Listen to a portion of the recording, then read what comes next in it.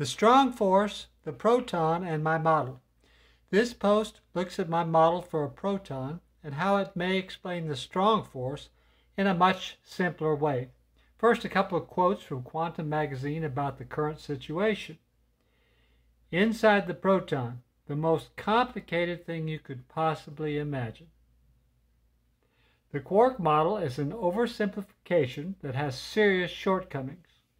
Here's my model. The strong force has two parts, holds protons and neutrons together, and holds the nucleus of an atom together.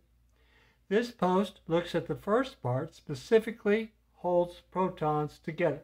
See drawing. The strong force is 100 times stronger than the electromagnetic force. It gets stronger, like a rubber band, the more the proton is stretched or pulled apart.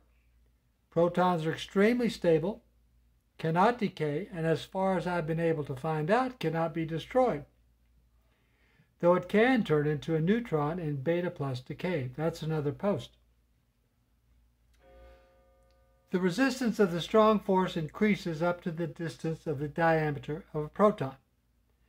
My model suggests the proton is made up of one electron in the center and two positrons or anti-electrons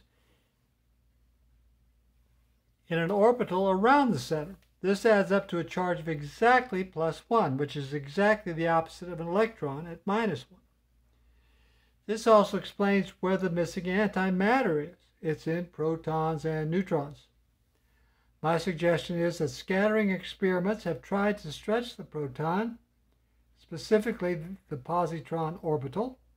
This causes a massive resistance that increases the more the ring is stretched. This is like stretching a rubber band that doesn't break but snaps back. This is what I suggest causes the strong force. The positron ring is so stable that it cannot be broken. The more it is stretched, the more it pushes back to its original form.